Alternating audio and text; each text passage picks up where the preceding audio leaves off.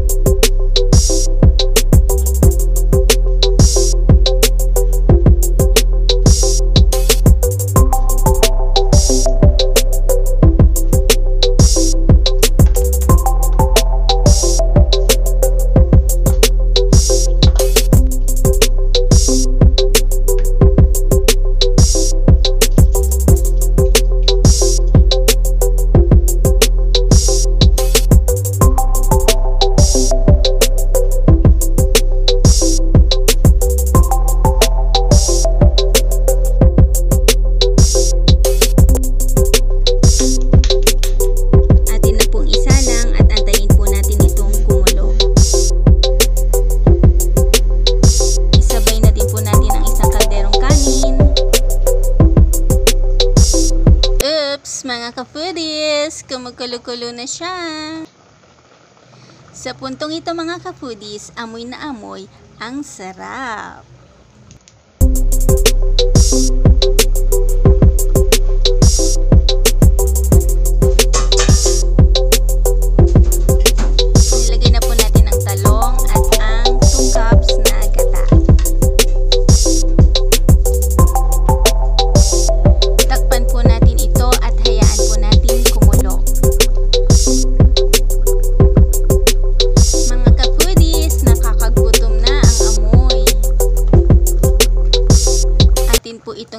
tikman ng naaayon sa ating panlasa. Nagdagdag po ako dito ng konting patis.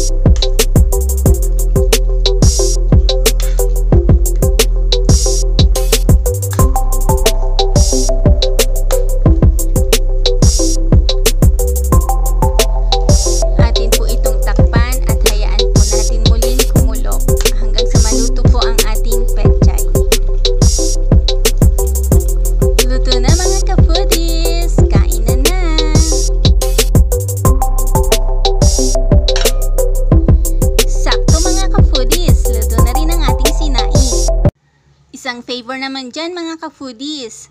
Paki-like, share, and subscribe my YouTube channel. Thank you!